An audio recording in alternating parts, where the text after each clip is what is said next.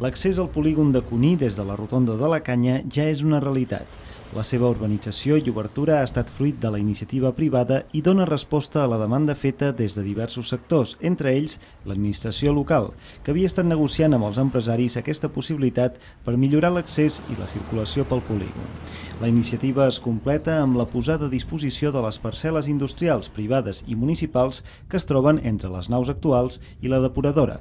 La posada en servei d'aquest sector possibilitarà, al seu torn, la posada en funcionament del futur centre d'aparcament i rentat de camions, que donarà servei a l'escorxador. L'alcalde d'Olot, Josep Maria Coromines, ha valorat positivament la iniciativa. Feia temps eh, que li anava molt darrere, que es pogués obrir doncs, totes les vies de comunicació, que depenia de la iniciativa privada, que nosaltres portem temps negociant-hi, però que és una obra molt i molt important per la ciutat, perquè posa més sol industrial a disposició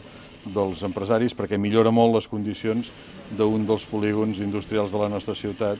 en què l'única manera que tenim perquè pugui continuar creixent les empreses és facilitar sol industrial amb les millors condicions i amb tots els avantatges possibles. L'alcalde ja ha anunciat que es canviaran les condicions de circulació al polígon per tal de prioritzar el nou accés com l'entrada principal, evitant que el trànsit intern hagi de continuar passant per davant l'escola llar.